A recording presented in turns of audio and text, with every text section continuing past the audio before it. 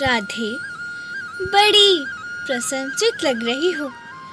अच्छा लगा तुम्हें देखकर कि तुम आज भी मुस्कुरा रही हो। परंतु आप विचलित से मालूम होते हैं क्यों सक पकाए खड़े हैं? खैर छोड़िए जाने दीजिए।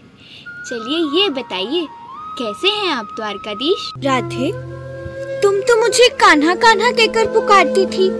तुम्हारे मुख से ये द्वारकाधीश का संबोधन मुझे भीतर से घायल कर गया। अब तुम तो मुझे द्वारकाधीश ना कहो।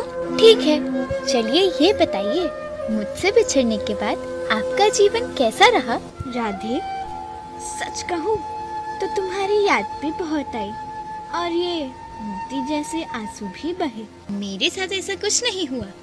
ना तो तुम्हारी याद आई और ना ही कोई आँसू बहा। क्योंकि मुझे तुम्हारी याद तब आती जब मैं तुम्हें भूली होती। और कोई आँसू इसलिए नहीं बहा क्योंकि मेरी इन आँखों में सदा तुम रहते हो। कहीं आंसुओं के साथ साथ तुम भी ना बह जाओ इसलिए हम रोते भी नहीं थे। परंतु राधा आज तुम्हारी वाणी में वो मिठास नहीं दिख रही। क्या क्या मैं तुम्हारे लिए वो पहले वाला शाम ना रहा? क्या मुझमें कोई बदलाव आ गया है? अपनी जीत का खोया हुआ एक आईना दिखाऊँ मैं आपको? कुछ कड़वे सच अगर सुन पाओ तो सुनाऊं मैं आपको। आपने कभी नहीं सोचा ना कि आप कितने बिछड़ गए हैं? वो यमुना के मीठे पानी से अपनी ज़िंदगी की शुरुआत की और और समुंदर के खारे पानी तक पहुँच गए। अपनी एक उंगली पर चलने वाले सुदर्शन चक्र पर भरोसा करा और दूसरी उंगली पर बजने वाली बांसुरी को भूल गए। जो उंगली सुदर्शन चक्र उठाकर लोगों को विनाश से बचाती थी। प्रेम से अलग होने के बाद क्या क्या रंग दिखाने लगी। सुदर्शन चक्र उठाकर विनाश के काम आने लगी। परंतु राधा यदि यदि मैं ऐसा ना करता तो दुष्टों का संहार कैसे होता? पर राधा राधा मैं तुम्हारे लिए अंदर से वही कान्हा हूँ। आप समझे ही नहीं कि कान्हा और द्वारकाधीश में क्या अंतर है। मैं फिर से समझाती हूँ। अगर आप कान्हा होते तो आप स्वयं सुदामा के पास जाते।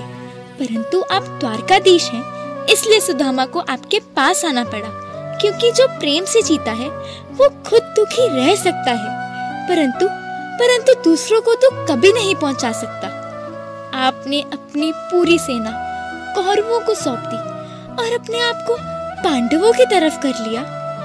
आप जैसा महाज्ञानी, उस अर्जुन का रथ चला रहा था। जो उस पर बैठकर आप ही की सेना को मार रहा था। राजा तो पालक होता है ना? सेना का रक्षक होता है। अपनी सेना को यूँ मरते देख आप में जरा सी भी कंगना नहीं जागी थी। कैसे जागती? आप तो प्रेम से शून्य हो गए थे। और इसका परिणाम आज भी लोगों को भुगतना पड़ रहा है। जरा पृथ्वी लोक पर झाँक कर तो देखिए, आपकी रची उस महाभारत से प्रभावित होकर आज एक देश दूसरे देश से लड़ रहा है। परिवारों में एकता ही नहीं है। भाई भाई का दुश्मन बन बैठा है। लोग एक दूसरे की सहायता करने से कतराते हैं।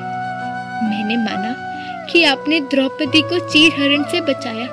परंतु अगर वो आप ही की माया थी, आप ही की रचना थी तो द्रौपदी को चीर हरण की नौबत तक क्यों जाना पड़ा? क्यों अपमानित होना पड़ा? उसी का कारण है जो आज पृथ्वी पर न जाने कितनी लड़कियों के साथ द्रौपदी जैसा ही व्यवहार होता है। अत्याचार होता है, दुराचार होता है। आखिर क्यों धरती पर शांति नहीं है? क्यों एकता नहीं है? कहिए कहिए, क्या जवाब है इसका? क्या उत्तर है इसका? इसका उत्तर ये है कि अब वो समय आ चुका है, जब मुझे दोबारा पृथ्वी पर एक अवतार लेना होगा। एक बार फिर से लोगों के कष्ट मिटाने होंगे। संसार में एक बार फिर से प्रेम की लौ को जगाना होगा।